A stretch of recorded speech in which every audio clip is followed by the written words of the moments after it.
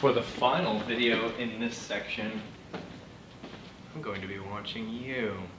Not only that, but I want to talk about thrust.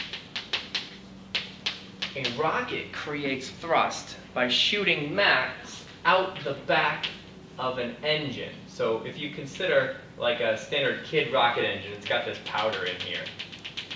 And the idea is there's an igniter, and uh, you connect this to some battery over here, and there's probably a switch also. But when you close this switch right here, you cause this little bit of metal here to heat up, which causes a fire in there, and then this rocket goes that direction. We should probably mount this engine on an actual rocket-shaped thing with some fins and whatnot.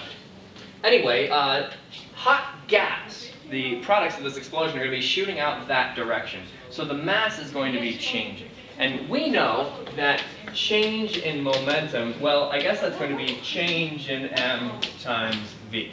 That's what momentum is. So change in momentum would be change in mass times velocity. And we previously said that we're not going to allow the mass to change. But now, let's allow the mass to change. So we could say that what's actually causing the biggest change in momentum is not the change in velocity, but the change in mass. We're going to say that it's change in mass times velocity. And you know the impulse momentum equation tells you that change in momentum is force times time. So if we solve this for force, we could find that the force is delta P over delta T. And my plan is to take delta P right here, which is delta M times V, and uh, divide that by T. No, that's not my plan. I want to find, yeah, no it is, it is. Okay, check this out.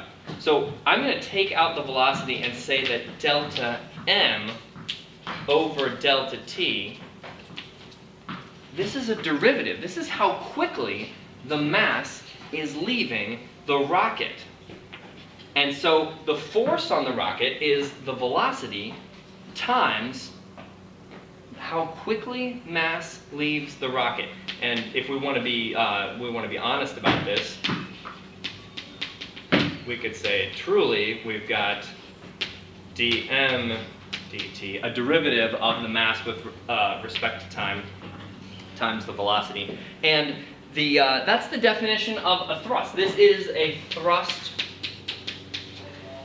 force because mass is being spit out of the back of the rocket. I'd like you to consider this. The interesting thing about this is that you know acceleration is force divided by mass. So if we plug this in right here, we're going to say that the acceleration is this force, which is dm dt, times the velocity divided by the mass. Notice that as time goes on, if this, if the mass is decreasing, then the acceleration will be getting, it, the acceleration will be strong, right? Because of the fact that the mass is spinning out of this rocket at a steady rate.